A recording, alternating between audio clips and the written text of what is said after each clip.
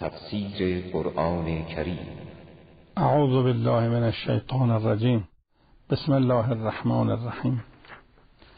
با لطف الهی از اول قرآن شروع کردیم. همین تو آیه به آیه تلاوت شد. ما هم یه نگاهی به تفسیرش داشتیم. تا جز آخر سوره غاشیه رسیدیم و الان آیه هفته به بعد هستیم. آیه هفته به بعد رو بشنوید. افلا ينظرون الى الابل كيف خلقت؟ وإلى السماء كيف رفعت وإلى الجبال كيف نصبت وإلى الأرض كيف سطحت. هستی یه کتابخونه لازم داریم تو کتابخونه. یه چوپونه که تو بیابو را میره تو کتابخونه را میره. نگاه زیر پات. چطور زمین آفریده شده؟ الال ارزه کیفت چگونه زمین گسترده شده؟ نگاه کن بالا سر آسمانو نگاه کن به کوه نگاه کن به همین شطور اگه کسی خدا رو بشناسه با نگاه اول می‌شناسه. اگه کسی بخواد یقش رو درست کنه از آینه فروش که رد میشه تو مغازه هم تو اولین نگاهی که تو آینه می‌کنه یقش درست می‌کنه. اگه کسی بخواد یقش درست کنه با نگاه اول درست اما کسی نخواهد یقش درست کنه. یقش هر چی هم پایین و بالا برسه صبح تو شما هم تو آینه مغازه آینه فروش بشه یقش درست نمی‌کنه. چون نمی‌خواد. اگه کسی بخواهد یادگیره هستی کلاسه. افلا ینظرون الی الابل کیف خلق در ساختمون شطور دقت کردید چجوری خلق شد؟ کف پاش چجوره؟ چون تو منطقه شنزار اگر کف پا سومی بود نمی‌تونست زندگی کنه. کف پا پهنه که رو شند وایسه چربی که تو کوهان شطره چه ذخیره شده؟ آب در خودش نگه داره. پلکاش در مقابل قبار و شن گردنش پله برای سوار شدنش. خود اگر گردن شطور هم همینطور دراز بود رو به آسمون. چطور مصور شطور میشه جوریست که گردنش میاد پایین آدم پاش می‌ذاره رو گردنش سوار میشه. بعضی حیونا گوشتی هن. بعضی حیونا شیری هن. بعضی ها بره گوش بخوان بعضی ها بره شیر و لبنیاتش بخوان بعضی ها بره سوار شدن. شطور همه رو داره. گوشتش شیرش سوار شدنش. شطور چند تا ترین داره. قوی ترین حیوانه. کم ترین حیوانه. پرفایده ترین حیوانه. رام ترین حیوانه. بردبار ترین حیوان. صد تا رو یه ساربان می‌تونه افسرش بگیره ببردش بزرگترین حیوان رامترین حیوان. مرد حکیمی شطور ندیده بود. برای شطور رو گفتن حیوانی که میخوابه. بار سنگین روش می‌ذارن پا میشه. خود فکر گفت پس باید گردنش دراز بشه. گفتن شما که شطور ندیدی؟ از کجا فهمیدی؟ گفت رو محاسبات عقلی. شما میگید میخوابه بار روش می‌ذارن. خب اگر باری رو زمین می‌ذارن رو شطور این شطور پاشه احرام می‌خواد. باید یه گردنی باشه دراز که این گردن همچی کنه؟ بار بلشه قانون باید گردن درازی داشته باشه. خب. افلا ینظرون الی الابل کیف خلقت نگاه به چگونه خلق عمده کیفه هست. تو این آیات چند تا کیفه داریم. کیفه خلقت کیفه رفعت کیفه نصبت کیفه شده این کیفه یعنی به چگونگی نگاه کن. چگونه؟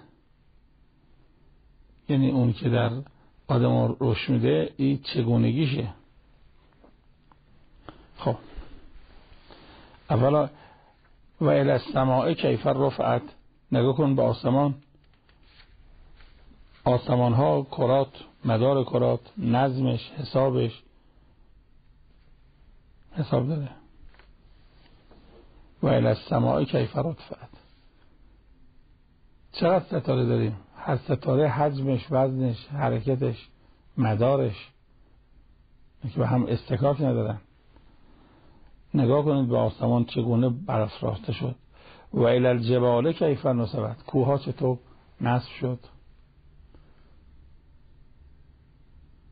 کوها زمین رو از استراب نگه داشته. ان تمیده بکن. اگر کوها نبود قرآن میگه زمین میلرزم شما را.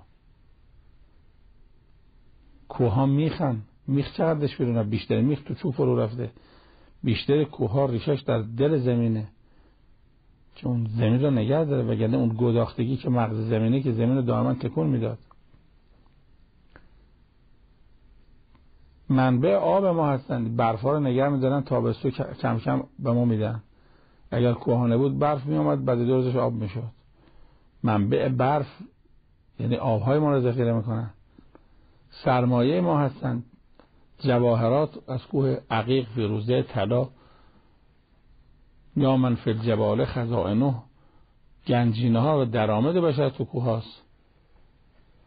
قار حیوانات تو کوه هاست سنگای قیمتی تو کوه هاست حفظ برف تو کوه هاست. بسیاری از گیاه های درمانی گیاه های کوهستانیه. جلو طوفان می‌گیره در تعدیل هوا مفیده. و الى الجبال کیف نصبت. و الى الارض کیف سطحت. زمین چطور چه بستری شده چطور گسترده شده. این رنگ زمین غیر زمین بود چشم اذیت می‌شد. زمین سفید باشه.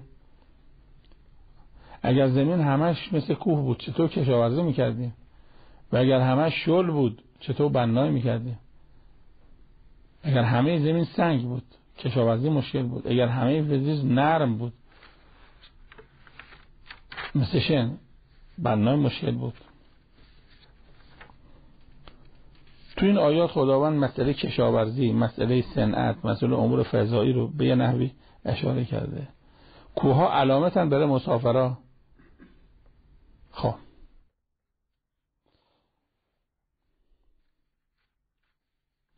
از محسوسات عبور کنیم تا به معقولات بفرستیم. افلا ینظرون؟ یه خود نگاه کن به محسوسات محسو... یه خود کمی نگاه کن به محسوسات. برو تو معقولات. خب. در آیات قبل گفتیم خدا چه نعمتهایی به افراد میگه. میگه شک نکنید خدا تو دنیا همین رو بهتون داده کار نکرده. بدون کار ما این کوه و این گیاه و این آب و دریا و آبشار خدا که وعده داد در آیات قبل ما به بهشت یا چه نعمت میدیم تعجب نکنید.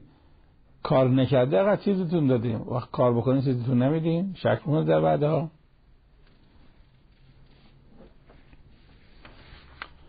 خب بسه. خدایا نگاه های ما را دا. نگاه های مبارک. نگاه هایی که دنبالش بصیرت باشه دنبالش ایمان باشه.